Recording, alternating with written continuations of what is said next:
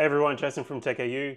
Last weekend I attended the Everything Electric Australia show in Sydney and I thought it'd be a fun thing to do to walk through this video that I shot when I first arrived, walking around all the booths. And this actually happened before uh, the show was open to the general public. So there's not a bunch of people in the, in the video, but that enabled me to get some great shots of the exhibition. So let's go through this together.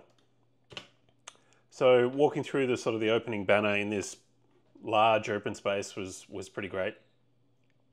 Uh, NRMA booth on the left there, uh, they were one of the primary sponsors, so of course you get some key real estate. Then to the right, we've got Zappi, uh, electric vehicle charger options there. So yeah, home charging for EVs, uh, big at the show. Origin Energy, they've obviously got a EV plan that they're trying to pitch everybody to um, those people who have EVs. They're trying to win some market share and bring people over to that. So they had a nice uh, coffee booth there, but the uh, Tesla Model Y on, on display. Then we've got uh, New South Wales government. So they're obviously investing heavily in charging infrastructure, and uh, and they were they were there at the show with a Kia EV6 on their booth.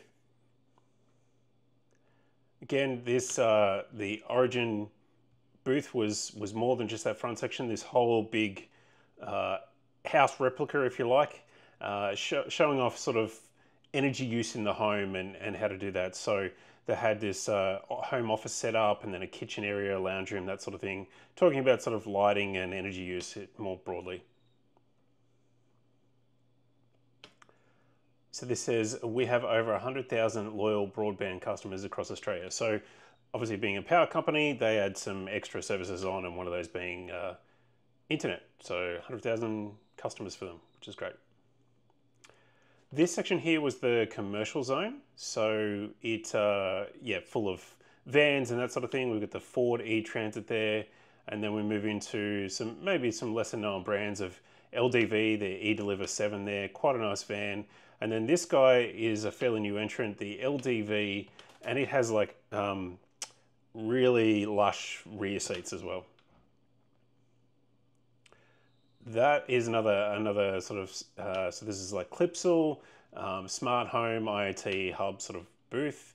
More charging on this side.